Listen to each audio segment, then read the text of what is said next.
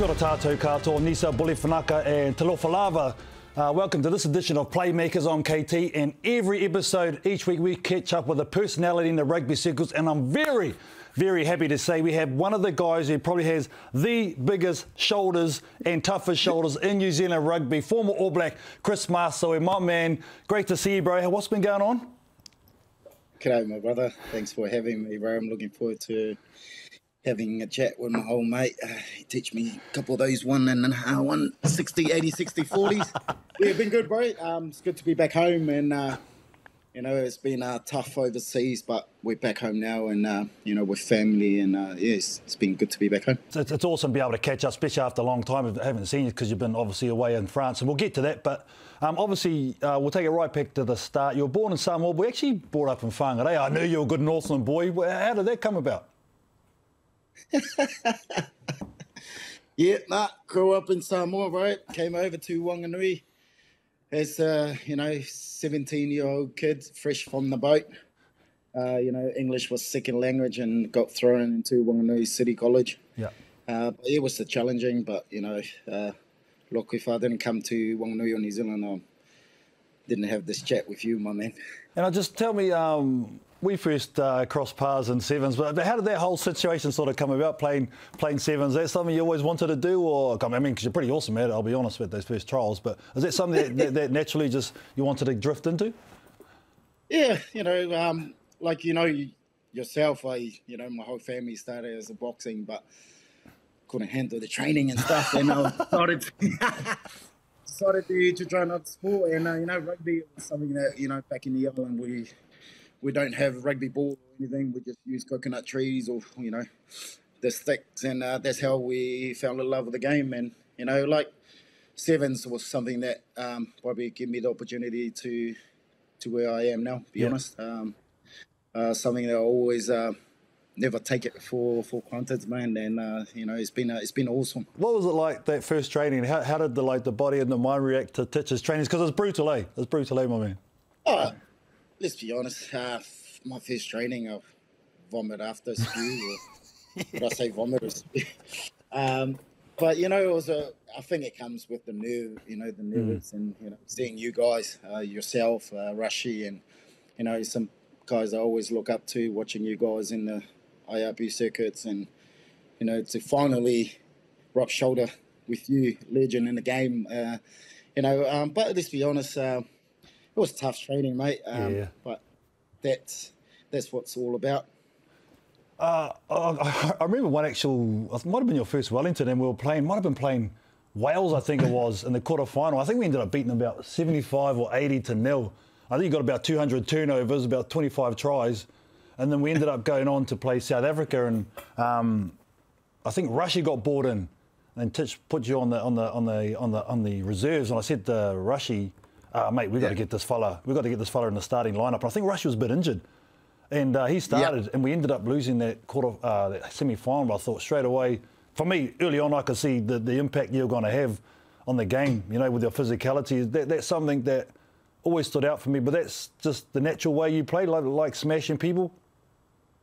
Oh, you know, like, like, yeah, you know, the good mate on mine, JC, say, you know, it doesn't mean, you know, it's the doesn't mean that the the little taxi ran into a bus or a truck. That means the the truck is not even dent too. You know. Yeah. yeah. it's still you know like uh, you know that's what we call the game. It's a you know physical game mm. and. Uh, I love every part of it, and you know, like I say, you know, it's a contact sport, and uh, I love that part of the game. And uh, yeah, something that I always enjoyed. Uh, you know, when we go on the field with you or any other other boys, man.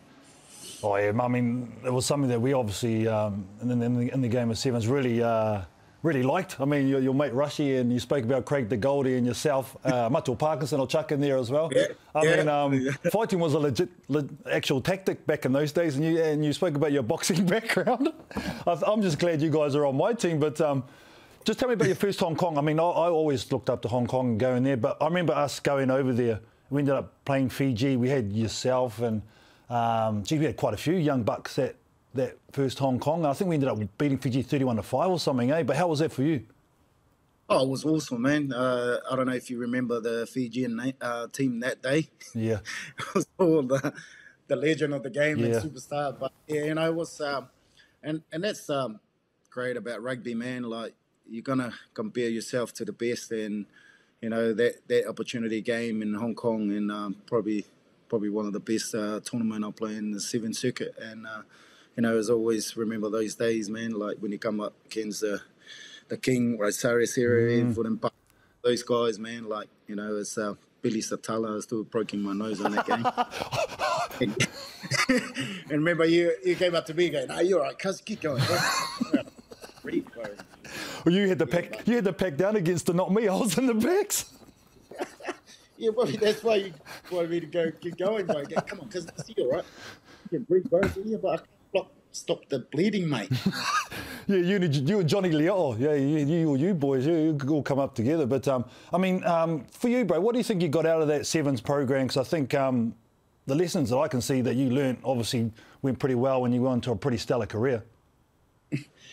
Uh, let's be honest, KT. Uh, if I if I didn't play sevens or Titch give me that phone call, I won't be where I am now. Be honest, uh, that taught me a lot. Uh, I think it's more like uh, the physicality and more like mental toughness Yeah, of training. Uh, You know yourself. Uh, every island kids, Tongan, Samoa, Fiji, or Maori, they all got talent. But you know, it's a matter of fact how we how hard we can work to get that talent on the top. But you know, the seven give me a lot of opportunity, man, and um, and I really, you know, you know, always always been a pleasure and it's been an honour to be on that part of that uh, sevens team for New Zealand. Well, we've got an alumni's Facebook page set up, so I'm going to add you to that. So, because I said, uh, get the fellow who's going to. Who's, who's earning the euro? Uh, you know, he's he's, gonna, he's the one who's going to pay for everything. So that's you, my bro. Um, we'll move on to the Canes, though. We'll move on to the Canes. After you left the Sevens, you uh, went over to the Canes and, and, and formed a pretty formidable loose loose, loose trio there. I'll be honest. We, we, we it was nicknamed the Bouncers because it was yourself on the blind. You had uh, Jerry and you had, uh, oh, you on the open. Sorry, Jerry at six, and then Rodney So'oialo at, at the eight. So, I mean, what was it like coming into that environment? Um, as a young man, and then being with those two uh, guys who would have been there or thereabouts the ABs, obviously. Yep, you know, uh, like any other island kid, man. Like if you see someone, you always look up to it. You know, uh, Jerry and uh, Rodders, you know, they were pretty much on top of their game when I got called into the Canes, and you know, watching those two guys, man, uh, it gives me the motivation to go harder too. And you know, but what makes us uh, special, we got to know each other pretty well. Um, you know, and uh, become really good friends and best mate, and you know, was uh, pretty much tough to divide us up. But uh, yeah, it's uh, I learned a lot from those two, and you know, like I said before, man, it's uh, it's been awesome um, ride with those guys. Yeah, I know um, you're very, very close mates with Jerry. Um, what was it that made him sp- so special to you, my man? I think he just uh, be himself. Um, you know, you probably know, uh, you know, Jerry's got his own will. Yeah. And that's something I like about him. You know, he's always, uh, no, you know, he's always straight up. You either like it or you don't like it. And I think that's what we got, uh, you know, gone really tight. You know, I grew up, like I said before, I grew up in a boxing family. It's all about talking straight and Yeah.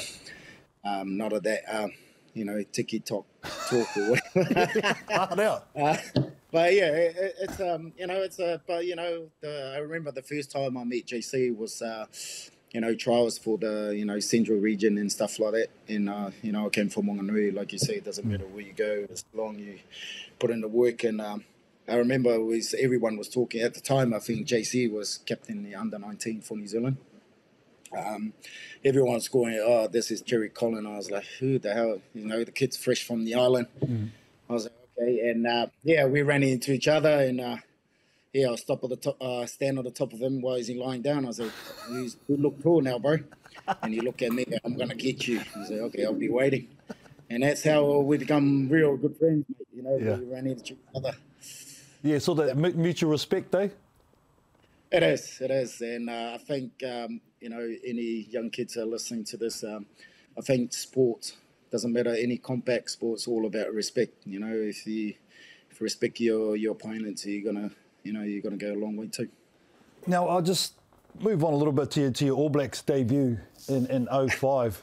I mean, um, obviously coming from like I say from from Samoa and then getting to the pinnacle um, for you in terms of making the All Blacks. I mean, that must have been mind blowing, bro. It is. Uh, it's any other kid's dream, man, to wear that black jersey. Uh, was for me, it was uh, an honour, uh, not to me and my whole family, you know, to wear that black jersey. Um, it was a huge achievement, and also like to run out, you know, in my first test in Wales was something special. Um, you know, coming from Savati, Yeah. probably only five, six people watching the game, and then you run out uh, eighty thousand or eighty six thousand people. Um, you know, it's something always special, man. Like you got, you're always going to carry your kids and your grandkids and you know your family about it. I remember because if people don't know, uh, Chris's elder brother is one of the best boxers to ever be graced in New Zealand and Samoa. And um, I remember we went to the Manchester Games in 2002, the Commonwealth Games, and we remember we went to uh, Manchester United's training training facilities, and uh, they had the head trainer there, and he said, "Oh, I'll get some of you mugs on the bo- on the, on the gloves, on the pads." So I remember you jumped up like all the boys like, "Holy smokes, we heard about it!" He absolutely smoked him. Even the guy was, uh, the trainer was freaking out. Do you remember that? Yep, I do. Far Oh, you know, yeah. Um, probably that's when you know when it's like, okay, any of you guys done this before? I was like, oh, yep, this is my opportunity, bro. but um, yeah, well, well, it's good fun, and you know, bringing back memories, and probably that's one of the best best uh, tournament I involved in sevens was uh, Manchester. You know, um, it's uh, it's been an amazing experience, man. Hey, who was your roomie? I had Brad Fleming. He was terrible. Uh, who did you have? Do you remember? I always remember Johnny. Oh, yeah. You? It was always Johnny Leal. Oh, jeez. Uh, couple couple of times because uh, I got put up with uh, Rushy, yeah. and I remember I went to see uh, Wardy. I was like, bro, um, I can't remember the captain, man, and you know, like I couldn't do anything because you know you look at Rushy is like God of the sevens, and you're like lying next to him, and you're looking at him and say, what is he doing? What is he doing? Like he's like. And then I remember I went to Wardy. I was like, bro, uh, is there any chance, bro, I can get it was someone. I actually asked for you too. It seems like oh, KT seems like a good guy, you know. Like, but um, yeah, but you know, Rush, if you hear me, but you know, it's all about after the game, you know. Well, that's the thing with Rushy. When he talks, you actually listen. I don't know why, because he has to put his teeth in after time. All he does is eat lollies too in the room, mate. All lollies and chippies, and we're, we're too scared to eat them. Well, we don't get any lollies because he's the captain and he's the, he's like, okay, I'll lollies first. So, uh, okay, sweet then, all yours. But you know, um, something I always remember Rushy. I, I don't know if you remember um, when uh, Cardiff, uh, we we had a good tournament. with I think we like you know smashing um, Australia and then Fiji in the final. And Yes. I remember putting my hand up before I put the try down, and I remember Rushy was a water boy. I think Rushy got injured, and then I went, "Come give me the water." I go, don't ever ever put your hand up. And that was the first time and the last time I put my hand out. I remember that. I absolutely remember. That was a good try, though. I remember that was the full length of the try. I Oh, remember mate, that. Oh, I. I, had, I, I had to celebrate because I was like, I was like, man, I ran like 45 meters. Yes. I was like, yeah, but I went up like this, and then I remember Rushy just gave me a water, boy. Don't ever, ever do that again. I was like, okay, sorry, my bad. Yeah. Don't But worry. you know, you've got to learn something, you know. That's it. That's it. I did it. He didn't say it to me. Oh, she was good. Hey, I might have to hit him up for that. hey, I just want to take you back to 05. And a lot of people talk about it as, as, as the Welsh singing the anthem and saying it's quite quite out of it and emotional. How was it for you lining up and hearing the, the Welsh sing their uh, national anthem? Yeah, I, was, I think the whole week, um, you know, when the after training on Tuesday, and I just sneak past, um, you know, the conference room when they're naming the team, and then I hear Ted was saying my name. I start at seven. I was like, holy moly! and I was, you know, you know, putting my shoes on Richie's is, uh, you know, it's a lot to feel, and I was like, oh, here we go. And the whole week, man, like I was really amp up for it, and I think what got me through that, I was like, you know, just trying to shut, you know, listen to music and, you know, just uh, have a chat to JC because that was my roomie at the time, and you know, just he's been there before, he's done it. But yeah, for me, I didn't like. I just focused on my own game that day, my first um, test, and just trying to block out that voice, you know, because in Wales, you know yourself, it's not Yeah. an easy place to play. And did, did the game go as quick as people say, like on their debut? Did it just go like that, or? Yeah, it was, eh? Um, you know, like the first kick off, and uh, I was still remember when I was like winning sevens, and you know, back in my mind, you know, we got some legend in the game of seven, you know, Richie, Tross, Grunfeld, all those guys, you know, come through, and I was like, they're barely they're the first one in the ruck. I was like, Phew, here you go. you know, I wasn't built to to just clean out rucks, you know, I was built to run the ball too, you know, Yeah. but um, it was come with that, and then like you know, I was really enjoy it. Uh, you know, having uh, playing with Jerry and Rod as my first test because I used to those guys, the Hurricanes. Um, those two helped me too, and um, man, I, I let's be honest, right after the game, I didn't even make it out to boys having a couple of drinks. I because it was that tired, Yeah. and I couldn't feel my legs. I went straight to bed. You spoke about uh, the influence that Jerry Collins had on you and Rodney So'oialo. What about Richie McCaw? Oh man, it was huge. Um, you know, um, that week, the the first, uh, you know, when I got named starting at seven, uh, was, you know, I was actually rooming with Richie. Oh, nice. Yeah, it was uh, for me. It was honor and a pleasure, and uh, man, he was helpful, man. Like little things, you know, running line, and he was he was man, and through my whole career of uh, with the All Blacks, he was uh, he was good man. He, he gave me a lot of tips, and uh, you know, got me where I am now. Be honest. Yeah. and, and, and you went to the 07 Rugby World Cup. I know, obviously, not the result we wanted, but I mean, going to a World Cup, still got to be massive, though. Uh, how, how, how, Yeah. how was that for you? Oh man, it's uh, actual special. Be honest, you know, probably special and play your first test. Yeah. Uh, you know, you got um, how many people put up their hands for selection in the All Blacks and for the Rugby World Cup. And I was uh, fortunately, I was lucky enough to make that, and you know, never take it for granted, man. Uh, it wasn't good here for us, you know, um, but I think you know we like everyone say, you know, Mike Tyson say, everyone's got plan till you get punched in the face, but. Uh, I think we learn from that and, and look at where the All Blacks now. You Yep. know, you, you always got to have a learning experience. You know, you got to you always got to have you know make mistake to learn from it. And um, yeah, it was uh, it was difficult, yeah, but you know, like I say, it was uh, it was been on and a pleasure to be part of it. You stuck out mustard that, that tournament because you decided to go to France after that. You're only 28 years of age. I was broken. I was like, "What are you doing, Mus?" But I mean, obviously, obviously, was that just for you? You felt it was time to go experience something new.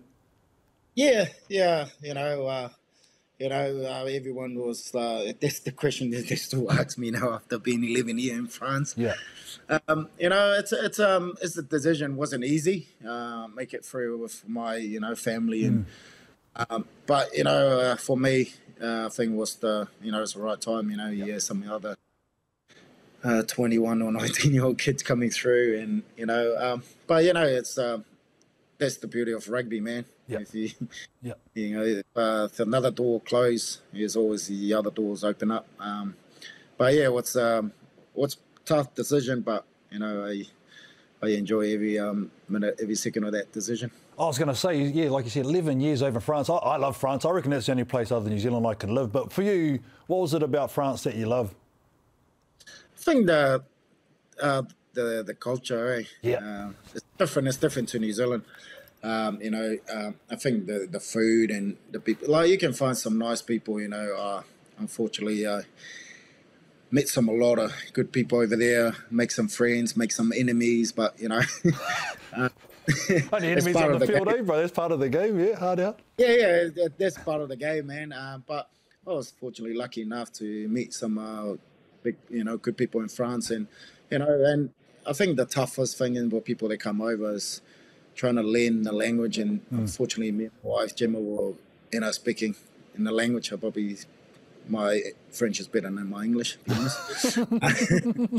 but uh, you know, it, it, it's just um, amazing people. Eh? Yeah. Like, you know, there's a of, but I, I love France. I fell in love with France when we toured 2006 with the All Blacks, and then Yeah. after 2007, I was like, man, I want to try this country out, man. It Yeah. seems amazing. Um, yeah, it's it's good um, lifestyle too. You know, Mm. uh, people just feel and uh, you know how you say the island time, bro. Yeah. It's definitely France, bro. the French time as well, eh?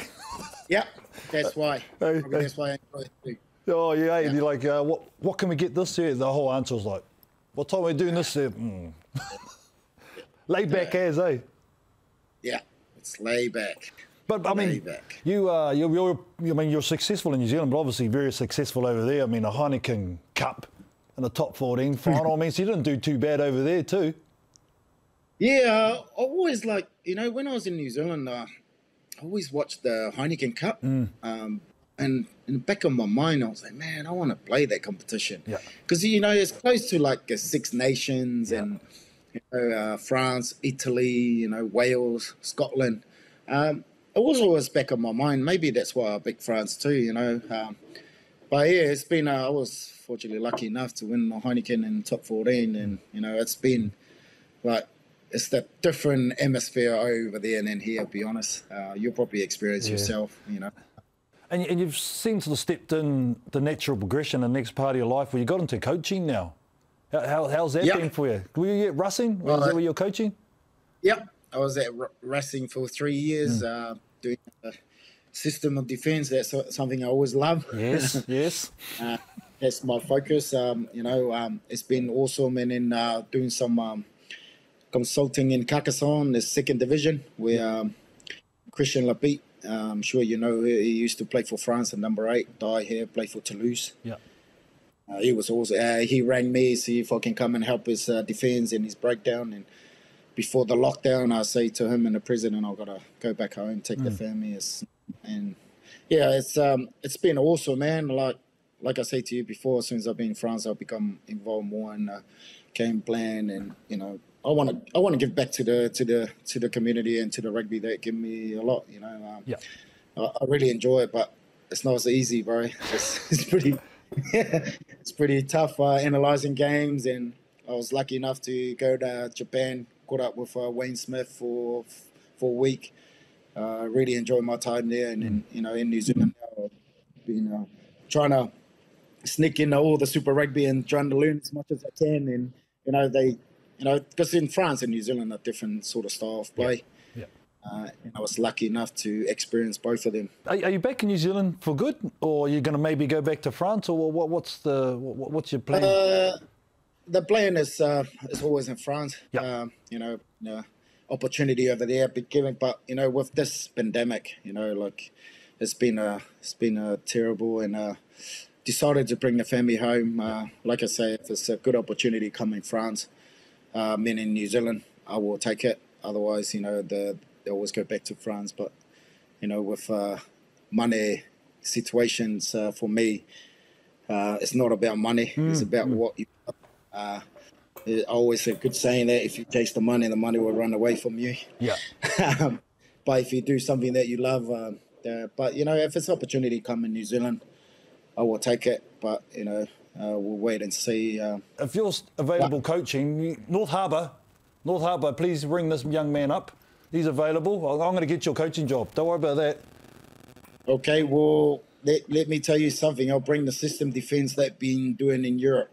Oh, there we go. Actually, you know what? I'm, I'm, I'm helping out with um, Mount Albert Grammar First 15, and we need a defensive coach. Yeah, give Your me a bro. come to Oh, mate, mate, Come to MAGS. guys, I'm here to get my experience across. I will sit down with you, share my notes with you. But the thing is, you've got to translate in English. It's all in French. Yeah, yeah, yeah. I've got no show because like I can't spell. I can't spell, so I got, I got no show. I got, I can't spell. I use predictive texting. I'm useless. I can't spell English. Oh, Sometimes I use that, bro. I can spell X and O's as long as you get some arrows and put them in places. We'll be sweet. Oh no, but it's, that's awesome. I mean, um, that, that's awesome. And it's a good point you make, and, and, and I think we can't sort of go away from the fact, as like you say about it's not about the money. You got to do what you love, and things will happen as a consequence. And I think sometimes a lot of kids lose sight of that, you know, in the professional age. Yeah, yeah, it is. Um, uh, like um, always, um, you know, when I first arrived in Taranaki in November, bring the family home, and you know, I've got uh, the guy in uh, said, "Bro, you coming back?" And I was like, "Mate, it's not. You know, it's more worry about the health of my family." And then, but you know. I always it's a good opportunity for me to give it back to Taranaki too, or, Yeah. or anywhere in New Zealand. Yeah. You know, like um, I think you know, especially Taranaki in New Zealand give me a lot. Um, you know, I think this is a good opportunity for me to give it back to to the community and to to the rugby. And um, yeah, it's been a it's been an awesome ride, bro, and it's been a long one too. But I really enjoy the the coaching side of it. Hey, you know what, bro? We'll end it on that. I mean, you're a great man. It's great that you come back to New Zealand. It's great that you're giving back to the community. Always cool to catch up, my brother. Good to see you, my boy. Uh, the door's always open down here in Anaki, bro.